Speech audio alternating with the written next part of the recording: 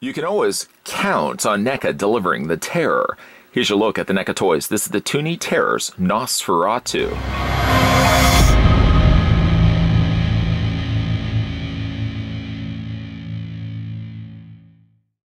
Bring the fun of Saturday morning cartoons to your horror collection with these adorable little creeps. Pick your favorites or collect them all and make every day Toony Terror time.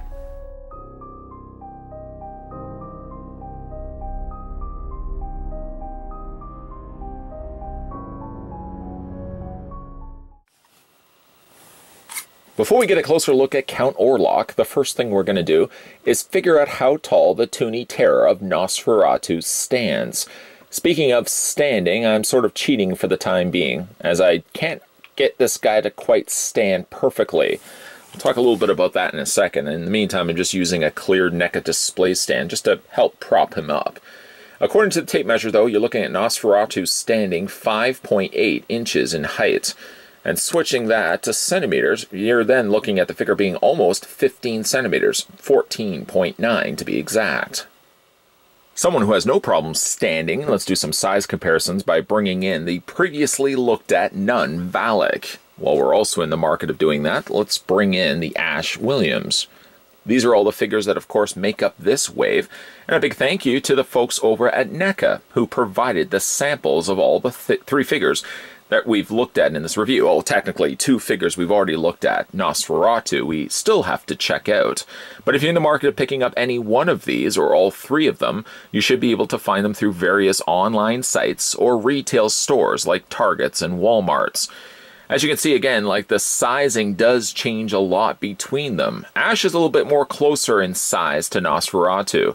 Valak is a much shorter figure simply just because we have her in a running pose, or him in a running pose. But I do like the fact that each one of them brings something different to the table. Speaking of bringing things to the table, Nosferatu brings along with him a little tiny rat. Funny enough story, actually, prior to the recording and shooting of Nosferatu, there was an ad in the newspaper that ran on July 31st, 1921, that asked for 30 to 50 living rats, where they were using these rats, of course, for the filming of Nosferatu. If anybody has seen the film and know by how many rats there were in the film, the ad was successful, I would say. I like the smile, sort of a sinister look that they've given the little tiny rat. I could say for perhaps that it would be nice if they had thrown in a more than just one little critter, as he certainly does have a lot of rats, but still nonetheless. Kind of like the detailing that they've even got the little sticking up spine that's sticking up the back of the rat there. Overall, just a nice detailed looking figure, right down to its little tiny buck teeth on the front. And again, a real sinister looking smile, you could say, for the rat itself. This is just, again, something that's going to stand alongside Nosferatu. It's not really going to serve much the purpose. I suppose, if anything, you could probably take the hand, the arm, and extend it out, and maybe put the little tiny rat in his hand. I guess you could do that. The thing about it, though, is it would still cause more problems and havoc getting this figure to stand properly. All the more reasoning why I did use a clear stand, so it really will be holding the figure upright as we will talk about in a second. This one does have, oh, that's fun. This one has some difficulty standing. So, like I said, there's always that. One other thing we can certainly mention as well with all the Toony Terror releases is that you do get yourself a back card. This card you can uh, cut right out and you can display behind the figure. Again, these are fine and good, but again, they just take up a lot of space if you ask me. When, say, I want to display, let's just say I display for the sake of argument, Ash, and we'll bring in Valak, as certainly this is a point I want to make. If I have all three of them next to each other with very little space in between them, having each one of them having their own corresponding background that of course I'm going to be cutting out, they're going to be overlapping one another. So for all that reasonings I've just mentioned, a lot of times when it comes to displaying the Toony terrors, I generally just display them on their own. I leave the cardboard back backgrounds off altogether. So let's go ahead and remove the little rodent from Nosferatu's hand, and we're go, going to go ahead and take him off the display stand as well. This just, by the way, is a NECA clear stands. You can usually buy these, I think, in packs of 10, and boy, have these ever come in handy during the time that I've reviewed figures, not only just NECA, but any figures that have some difficulty standing. Good thing to invest in, if you ask me. Anyways, we'll put that to the side, and we'll have a look at Count Orlok. A nice looking figure. It's nice also that not only are we getting the more modern characters and monsters, getting ones from like days of watching horror films growing up myself to the more recent horror films like Nun, and then we sort of backtrack it quite a bit, quite a bit then even still to the 1922 silent film Nosferatu, where it does feature Count Orlok here, this vampire. He definitely does have a Orlok look to him while still keeping sort of to the idea that NECA is designing these figures based on what you could expect almost to run into in, say, a Hanna-Barbera cartoon. I don't know if you would run into, I guess you could. Maybe Scooby and the gang, for example, are going off to a far off castle somewhere in the woods, and maybe come across during their travels Nosferatu. I do like the design of the figure, but he's very, like I said, spindly. Like, well, not so much spindly, but he's designed like an ironing board. Very straight, very flat, and at times difficult to stand. talk about that in a second, but before we do that, I want to showcase some of the details done on this particular piece. I love the bug eyes on this one. Very small, almost pin-sized pupils, and you can see that he has the noted fangs on the front. Always a really interesting trait of Nosferatu, as well as the big ears on either side. He's painted rather pale, perfect for this particular character, as well as the little tufts of hair also located on the side as well. For the rest of his outfit, gone would be, of course, a cape in favor of a long-tailed jacket or long trench coat style of jacket. Of course, as it has some buttons or little fastened buttons there on the front. Uh, this has been painted nicely in black. The primary color, of course, is more like a chocolate brown, with sort of a scarf section here done in black as well. Now, talking a little bit about the arms, the arms drape right down to his sides. There is technically, yes, articulation where you can bring the arms forward, you can bring the arms back.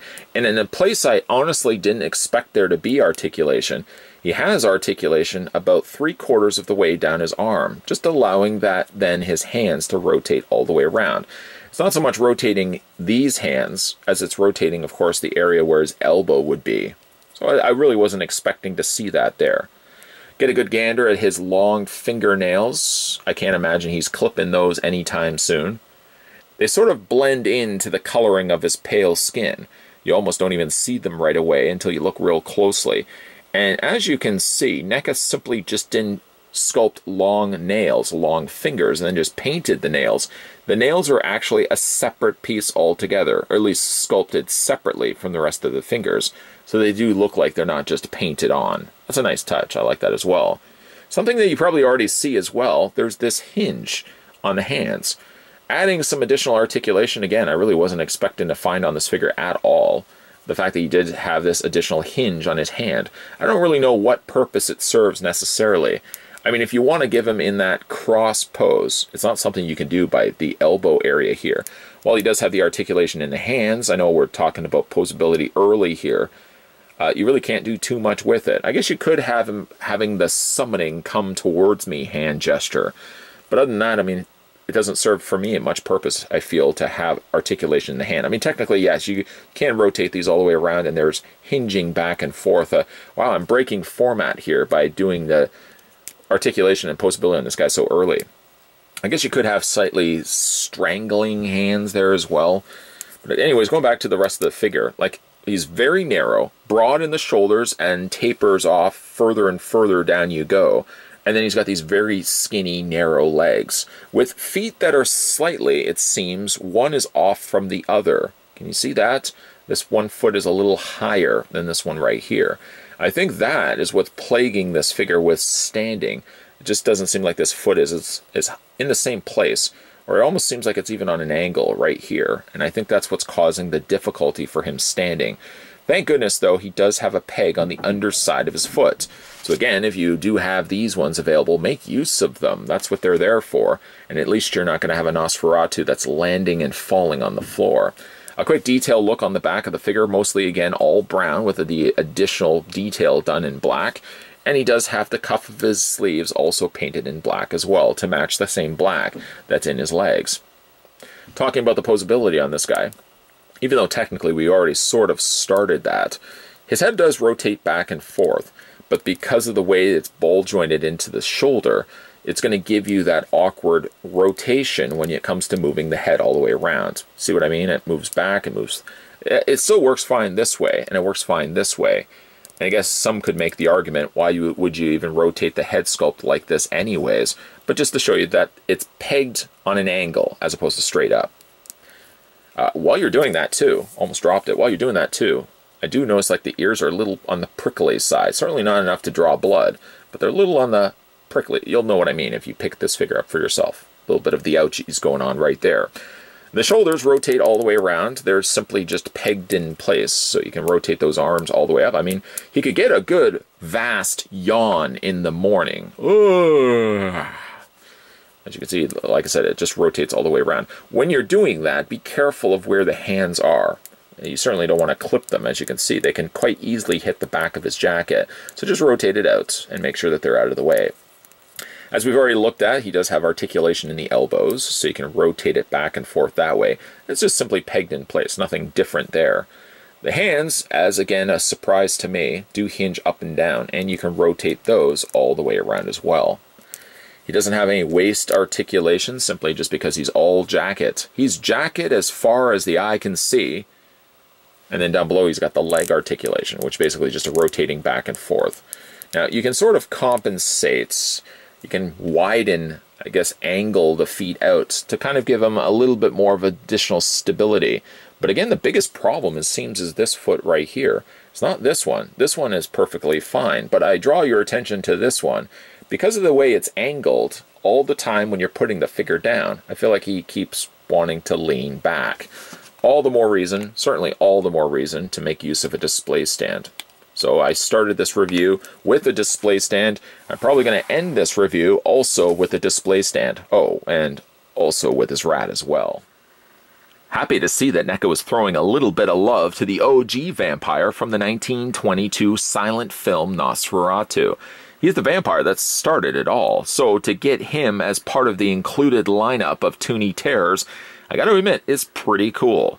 I'm sure licensing will come to play when it comes to maybe releasing some of the Universal monsters, but could you just imagine how cool they would look also being part of the Toony Terrors? When you really look at the landscape of this particular wave and the characters that we've gotten, Nosferatu dated way back in 1922, a little bit more recent but still in the past, we've got the Evil Dead 2 Ash, and a little bit more recent to that, we've got the Nun Valak. It's covering a lot of the timeline here, and all presented three figures from the current wave of Toony Terrors. Now, this lineup is currently available in retail stores and comic book stores. So if you're in the market of picking up any one of these, or have always wanted to see what a cartoon version of Nosferatu may look like, you're welcome you can thank NECA Toys. And actually, speaking of thanking NECA Toys, big thank you to NECA for taking the time of sending Nosferatu, Evil Dead Ash, and then Nun Valak my way and allowing me the opportunity to showcase them to you guys. Let me know down below in the comments section what you guys think of Nosferatu. I like, the, again, the idea that he included his little tiny rodent a very nice looking figure, though. I'm really happy to see that they're covering all the territories. Whether, again, we will be able to get Universal monsters will be probably the harder one because I know they're pretty tied up on licensing on that one. But I would love to see what they could do with the Universal monsters as well. Either way, though, I am certainly rambling on. Let me know, weigh your thoughts in down below what you guys think of this wave of Toony Terrors. Which one is your favorite? I'm sort of pressed to find my favorite of the three because, again, each one of them represents a different time frame of me watching horror films. I certainly wasn't around for 1922, but I certainly remember watching Nosferatu and the impact it left behind. If you're also new to the channel and you're liking the content that you're seeing, consider the idea of hitting that subscribe button down below. Consider the idea of moving over to that bell notification and turning that on. And keep in mind as well that videos come to this channel regularly Monday to Friday at 12 p.m. and 2 p.m. Eastern Standard Time. And thank you for watching, guys. As always, I'll see you guys next time.